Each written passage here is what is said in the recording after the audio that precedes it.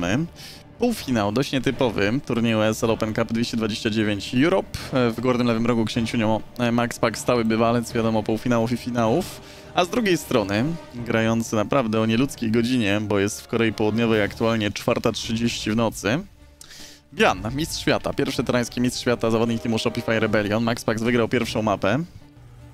Bian przyjął trochę za dużo disruptorowych uderzeń. Jeszcze oglądaliśmy oczywiście Klemna Wayne'a, ale zdążyliśmy na drugą mapę. Może jeszcze, jeżeli tutaj będzie w miarę sprawny, do jakieś 2-0, albo generalnie będą szybkie dwie mapy, albo jedna, no to, to jeszcze może zdążymy na część pojedynku Klema z Hiro Marinem. No i potem finał. Max Pax wysyła swojego zwiadowcę. Jak widać, Bian może zakończyć tutaj swój turniej. Bian wcześniej pokonał też Foxera i Skillowsa. Ze Skillowsem miał 2-1. Ciekawe, czy nie może spać, czy coś.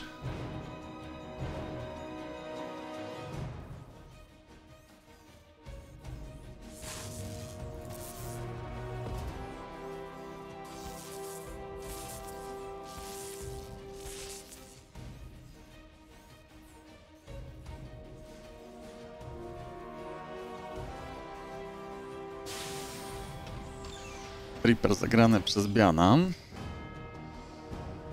Jest barykada też antyriperowa, Nexus i tak dalej, i tak dalej. No nic e, nowego tutaj Max Pax nie zobaczył, raczej tylko się upewnił, że jest w miarę bezpiecznie, a Bian po swojemu Command Center na wzniesieniu.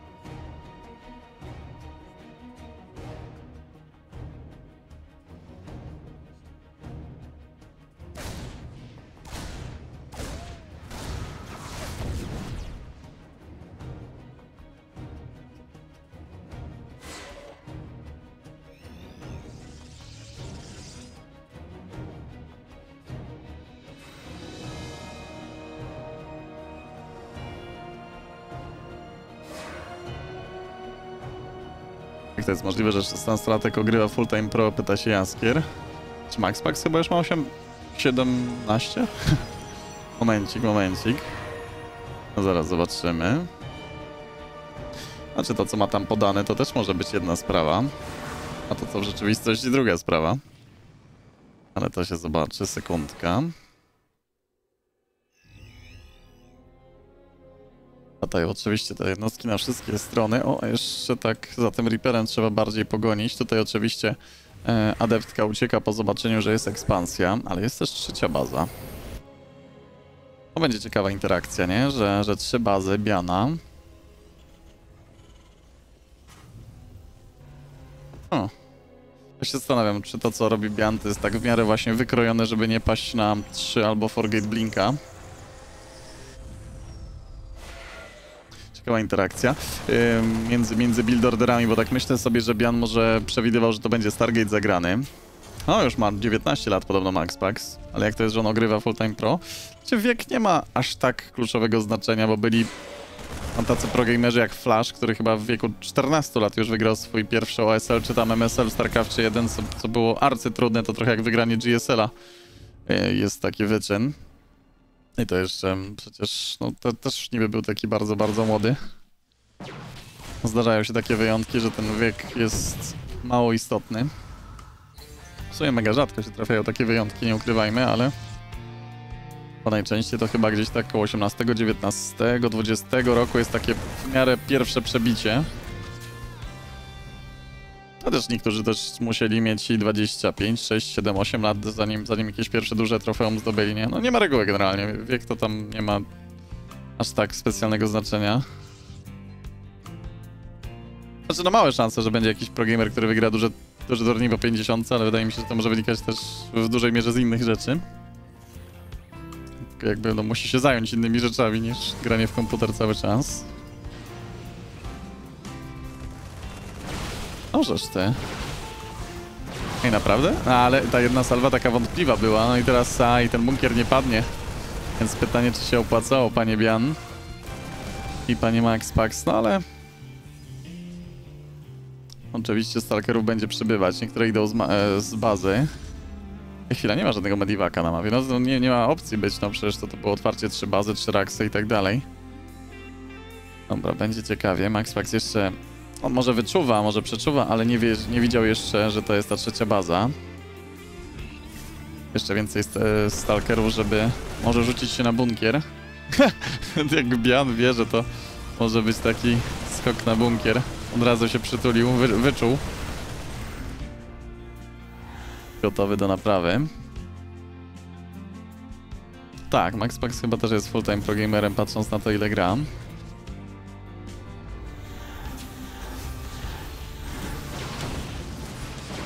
Się bardzo mocno przykładam.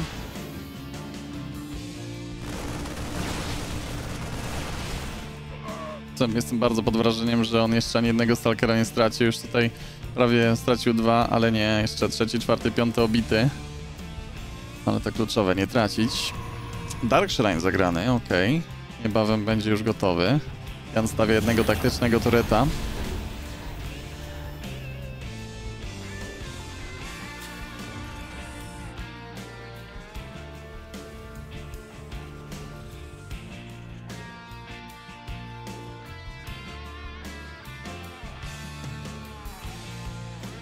Bardziej mi chodziło, że Max Pax ma expa w mecie z 2-3 lata, Bian kilka z 10 lat. No ale nie, no to, to przecież to nie jest tak, że to, to, to, że Bian coś potrafił 5 lat temu, to nie znaczy, że to się przekłada na, na aktualnego StarCrafta. Jakby niektóre elemenciki może, może, może, ale to jest do, do, do gonienia, nie? No, zwłaszcza, że Max Pax podejrzewam, że więcej grał, trenował od Biana w ciągu na przykład roku, dwóch, trzech.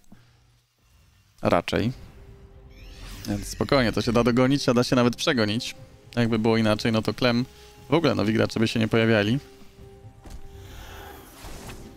Myślę, że taktyki, doświadczenie z Wings of Liberty tak się jakoś specjalnie nie przekuwa na sukces teraz czyjkolwiek. Przykładowo, tak na skrajności pokazując.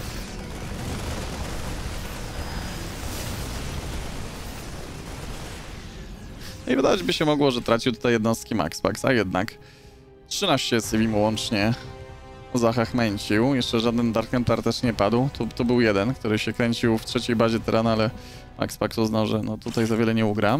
O co, dwie miny, ciekawe, czy walną War Prisma, o tym może za chwileczkę. Stalkery jeszcze idą wywierać presję, dużo widzi Max Pax swoim, e, swoim obserwerem. Chyba też widział te miny zakopane, mam taką teorię. O, a może i nie, a może i tak. W sumie, dobre mikro, jeszcze ta mina nic nie zrobiła. Tutaj był Stalker stracony na froncie. Okej, no dużo się dzieje, bo tutaj jeszcze mamy dropa ze strony Terana. Max Pax idzie z obroną. Za chwilę mu się schodzi. Fajne zniszczenie pylona trzeba tutaj też przyznać. W wielu miejscach Max Pax granie. Tu jeszcze Stalkerami podszedł. Tutaj z lotu oczywiście robią nie najgorszą robotę i Medivac pęka. Choć nie powinien, coś Bianowi się fatalnie kliknęło. No i stracił, nie? I tak kurczę, Max Pax trochę tu lepszy, trochę tam szybszy, tu jeszcze właśnie coś przeklikał. Jeszcze jakby zrobił tutaj Stalker i złapał tego Medivaka, to w ogóle by było Mistrzostwo Świata.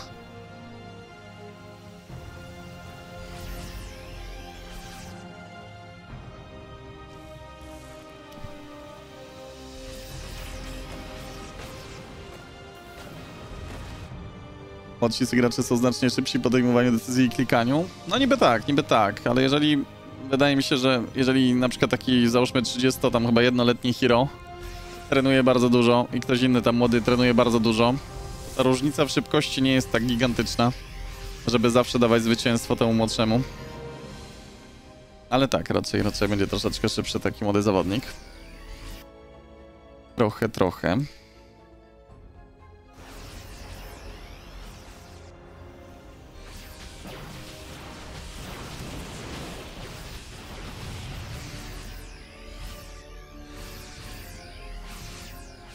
Ale to wszystko można zategować. Trochę mądrzej coś rozegrać, jakoś inaczej, może z, e, swoją inicjatywę narzucić i tak dalej, i tak. No ale szybkość jest oczywiście bardzo ważnym elementem we sporcie.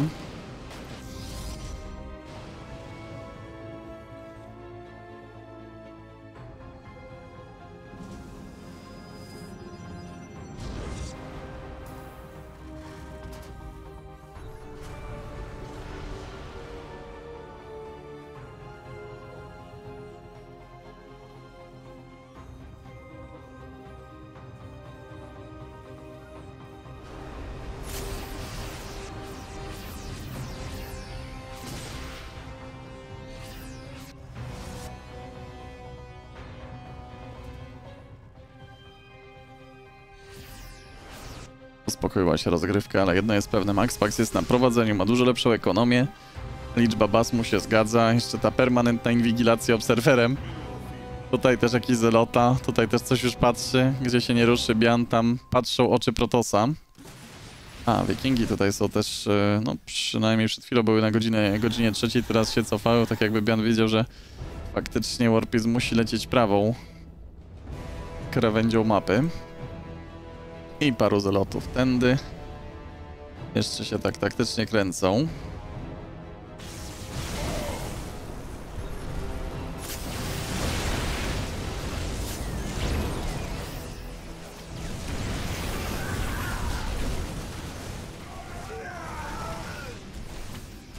Zaloty wydobycie, tutaj oczywiście kolejna presja, Command Center jest jak naj... O, tu te disruptory jeszcze są, czy Max na to patrzy? Nie patrzy, o jak nie patrzył! Nie zdąży, nic tu nie zrobi, ale po kulach dostał Max Pax. Najbardziej jak się tylko dało, chociaż też sporo zniszczył, natychmiast ucieka Duńczyk znowu do swojej bazy, ale to jest taki odwrót taktyczny, żeby za chwilę tutaj pewnie powrócić. Teraz, gdy patrzy obserwer, no to Max Pax nie biegnie do rywala, tylko chwileczkę jeszcze musi się opanować. Zeloty ruszają do boju. Bian oczywiście na kontrę, bo być może lepiej nie będzie. Kiedy liczba disruptorów została zresetowana, wzrosły szanse. Terana i lecimy, lecimy. Znowu kontra. Mądrze Bian zostawił część jednostek, a inną częścią oczywiście atakować już za moment będzie. Znowu trzy kuleczki. Częściowo się odbudował walka przy super baterii. Wszystko dobrze, znowu robi Max Pax. No ale były te błędy. Jest kula. O, akurat Steampack się skończył i no zanim Bian odpalił kolejnego, no to już oberwał. Zdążył oberwać, nie? Naprawdę ten Warpizm jeszcze odleci. Troszkę szczęścia nie zawadzi. No i teraz e, chyba no, musi Max Pack zaczekać tylko na 3-2 i będzie z powrotem dobrze. Zapomniał się Warprismem.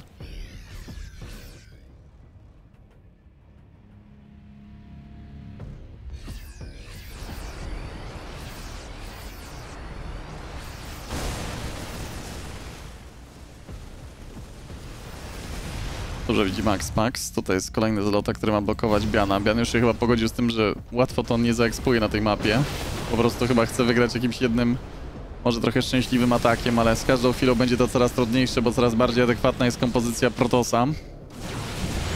I kuleczki pogrzebały, jak pamiętamy, znaczy no w sumie to nie pamiętamy, bo nie widzieliśmy tej gry, ja tylko zerkałem na innym streamie, ale, ale kule były dla Biana bardzo, o, ciężkim doznaniem. No i właśnie tutaj jedna bardzo dobrze trafiła. Rzuca kolejnymi. Kolosy też jeszcze przecież żyją. Trzy sztuki, jeden mocno obity, ale nie ma problemu. No i co teraz, panie Bian? No, nie ma bazy, nie ma expa. Czekaj, czy przeleci w końcu tą pierwszą bazę, bo to już jest taka chwila, że no, chyba trzeba. Ale Bian gra pauzą. O, jednak leci, dobra. Kolejne podejście Protosa. Czy teraz został zaskoczony? Może leciutko. Ciężka. O Jezu, jak te kule wa... O jak? W powietrze. o, dobra. O, frunął Bian. O, poleciał już i... Wypada z turnieju. No, ale co pograł to jego. Jeszcze na koniec taka kula też soczysta. Dobra, Max Pax walnął Ojcowskiego i... Koreańczyk wraca do Korei.